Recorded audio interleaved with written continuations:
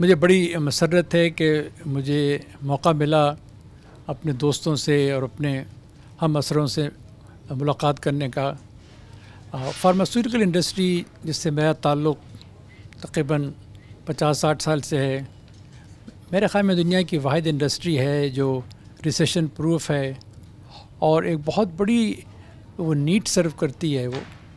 اور مجھے بڑی خوشی ہے کہ پچھلے بیس پچیس سال میں جس طرح سے پی پی ایم اے کے ممبران اور کمپنیز گرو ہوئیں اور انہوں نے ایک بڑا مقام حاصل کیا۔ سب سے بڑی جو مسئلہ جو ہوتا ہے بزنس گروتھ کا، وہ یہ ہوتا ہے کہ اب نیکسٹ اسٹیپ کیا ہوگا۔ میں نے اپنی میٹنگس میں یہ بتانے کی کوشش کی کہ ضروری ہے کہ انسان ذہن کو کھلا رکھے اپنے۔ اور مستقبل جو ہے اس کی طرف نظر رکھے، جو بہت ہی مشکل کام ہے، اس لیے کہ مستقبل کو ہم دیکھ نہیں سکتے، وہ ایک نان لینئر بیسس پہ ہوتا ہے۔ تو میری خواہش یہ تھی کہ سب لوگوں کو اس بات کی میں ہمت دلاؤں کہ اب ان کا وقت آ گیا ہے کہ وہ جو فیوچر کی میڈیسنس ہیں اب، ان کو اڈاپٹ کریں۔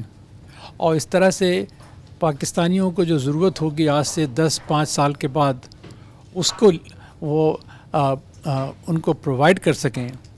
اور اس کے علاوہ میرے خیال میں ایک جو ایریا جہاں پہ پی پی ایم اے اور اس کے ممبران بہت سکسیزفل ہو سکتے ہیں، وہ ایکسپورٹ ہے۔ اور میری کوشش تھی آج اور کل بھی رہی ہے کہ میں کسی طرح سے ان کو اس بات کا یقین دلاؤں کہ یہی ایک طریقہ ہے سکسیز کا۔ کیونکہ جس ملک میں کوئی پیئر سسٹم نہ ہو، وہاں پہ بہت مشکل ہو جاتا ہے۔ ایک ایسا منصفانہ طریقہ اختیار کرنا کہ افورڈیبلٹی بھی ہو اور ایکسیسیبلٹی بھی ہو۔ تو مجھے پوری امید ہے کہ اگر انہوں نے اس بات پہ غور کیا ہوگا تو ضرور سوچیں گے۔